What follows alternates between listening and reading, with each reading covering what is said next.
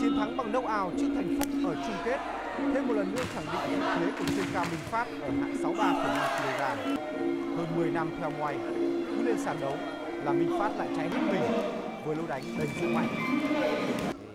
giống như là mình sống được dạng được sống với chính giấc mơ mình vậy cảm thấy lên đài mình cảm thấy mình được sống hết mình trên đó cảm thấy mình yêu thích 2019, trong lần đầu được dự SEA Games, Minh Phát đã bị loại ngay ở trận đấu đầu tiên.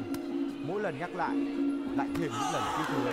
tiếc chứ mình cố gắng bao nhiêu năm chờ để có cái suất sea games mình thua rất là tiếc Sau 2 năm, võ sĩ này đã trưởng thành hơn và đã có một quá trình chuẩn bị dài hơn cho kỳ SEA Games 31 được tổ chức trên sân nhà. khi mà xong giải này thì mình sẽ bắt đầu tập trung vô tập luyện chuyên sâu hơn để có những cái lối đánh và chiến thuật mới để gặp những đối thủ mới à, mình sẽ cải thiện hơn về thể lực. À, mình phải có nhiều lối đánh để mình đánh với đối thủ của mình.